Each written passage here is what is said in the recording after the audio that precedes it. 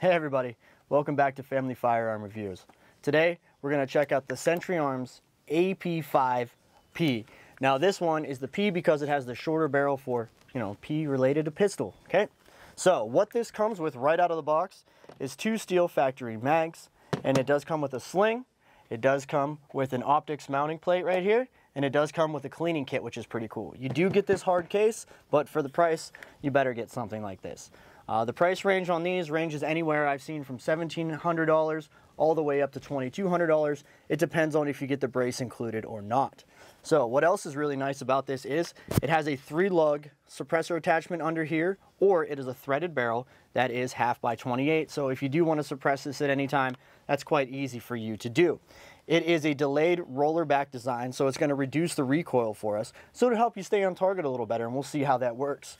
Today we're just going to run the open sights right here that are pretty nice, and we're going to see how those function. Now we did attach the brace. Initially ours came with just a little backplate like this where you could attach the sling that it comes with. But we went ahead and put a nice little SB tactical brace on here. It's a folding brace, so we can shoot it both ways. So we're going to try the pistol style. We're going to throw that brace out and see how it functions like that. It's a really nice little firearm. So now, to get down to the numbers for ladies and gentlemen out there that love those numbers, we're looking at a barrel length right here of 5.75 inches. We've got an overall length without the brace of 14.9 inches. We have an overall length with the brace on here that we went with. It made it 24.25 inches when it is not folded. We have an overall height right here without the mag of about 8 inches. And when we have an unloaded weight, we're looking around 5 pounds with this firearm the way it is. When we're looking at thickness, we're looking at about 1.25 inches. We did test the trigger pull. It has a 6.75 trigger pull, so it's almost 7 pounds. So it is a bit of a heavy trigger here. It does have a safety on this firearm, which you can see. Right here, it's a flip up, flip down safety right here for your right hand, and your mag release is right here, paddle style right here, or there's a push button on the other side that does the mag release for this firearm. Now this is set up like an MP5 clone, so there are little mounts here. There's a sling mount right here, and then I added a QD mount right here so we could attach the sling at some point if we wanted to. But we all know what we love about this firearm is the slap. Everybody loves to do the slap. Anyone who has watched Die Hard, this is one of the movies we all grew up with. All right, guys, we're gonna head out to the range today, and we're gonna run 200 rounds through the firearm today. We do have two of the steel magazines that came with the firearm. I did pick up a regular H&K plastic mag. We're gonna see if it can run the H&K mag because it says it is compatible with a lot of the H&K parts. Now what else we're gonna do is we're gonna run that 124 grain like always. We're gonna run Remington 115 grain, PMC 115 grain, and then we're gonna run the lax reloaded ammunition that we have a lot of. And it's 115 grain also. So if you guys reload, we're gonna make sure this firearm is gonna be able to take those reloads for you. So let's get out to that range and let's check this thing out. Good. All right, now that we're out on the range, we're gonna run this AP5-P. Uh, I keep wanting to call it an MP5 because it is an MP5 clone. Really excited to go through this. We're gonna run the 124 grain first, and then I have the plastic MP5 mag that I bought. Uh, we're gonna see how that works with this, all right? So, let's see how she runs.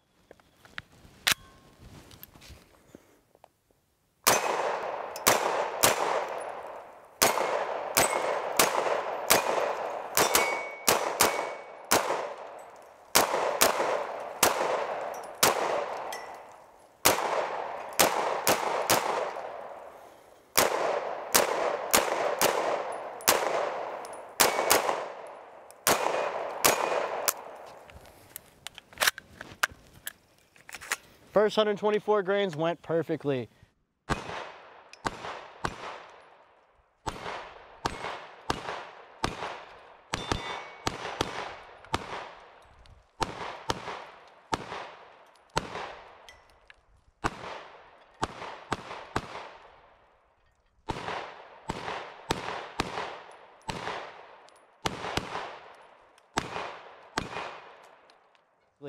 Now we're gonna see how this Plastic mag, they're supposed to be compatible. We'll see how good they are. Can already tell it's a bit tighter of a fit than the other one, but I did get a round in there, so let's see how it goes.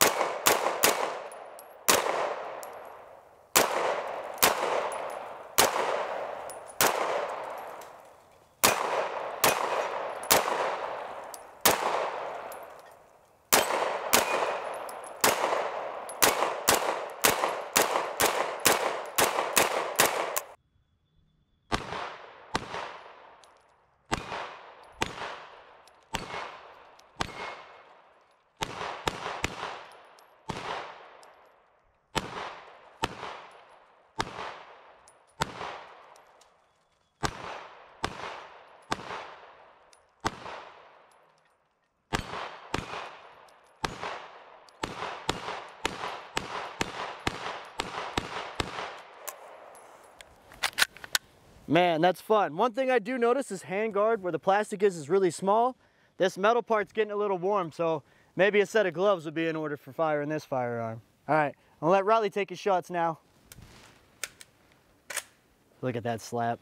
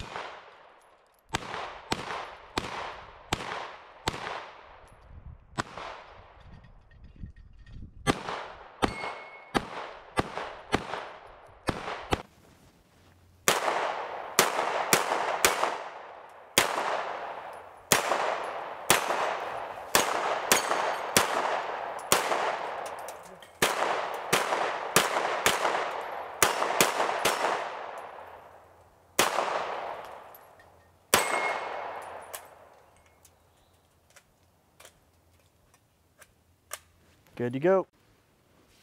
So I do like this H&K MP5 mag I picked up. It's a window mag. It seems to work great. I can see when I have 30 rounds. I can see how many I have left. So I'm gonna take some more shots with this.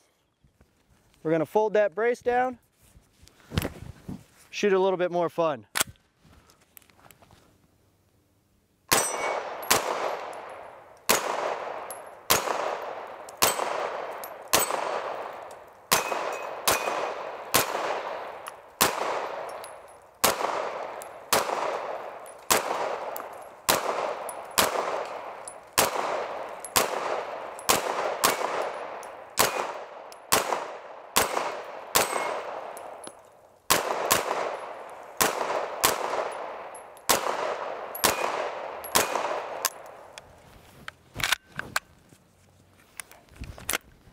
You can see with that low recoil, it's really not hard for me to shoot this without the brace. It was actually kind of nice because I didn't have to get my fat face down so uh, close to this brace, let me tell you. Definitely gonna tell you that a red dot is in the future for this buddy. All right, so now that we got our first shots in, let's go get our final thoughts on this gun at the range today.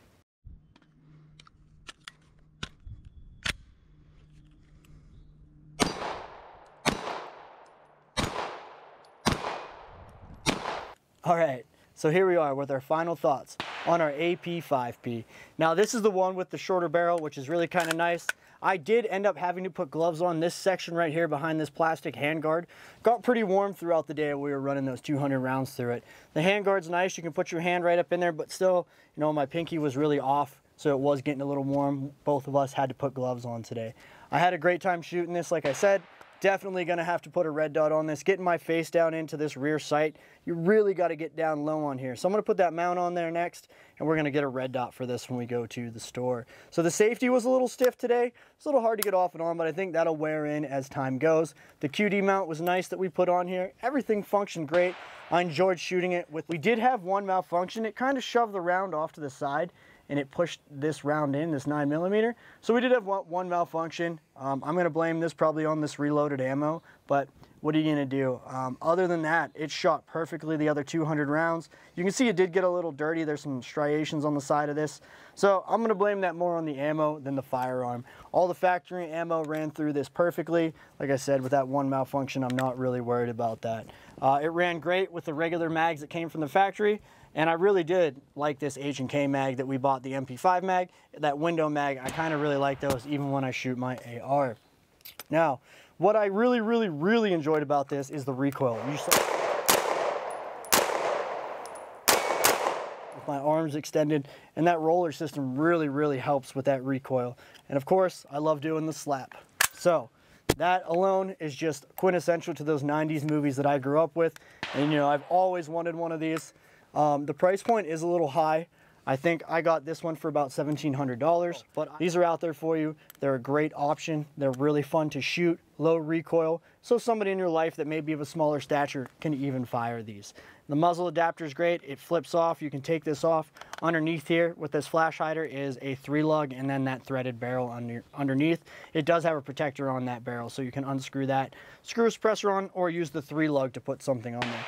What'd you think about this today, Brad? Uh, I thought it was good. It didn't have very much recoil. It was accurate. It was hard to miss with the gun. So, you know, that's, that's what you want to hit what you're aiming at. So that's good. And that's perfect. We really had a good time out here shooting today. So, a little father son bonding here on Family Firearm Reviews. So, join us for our next one.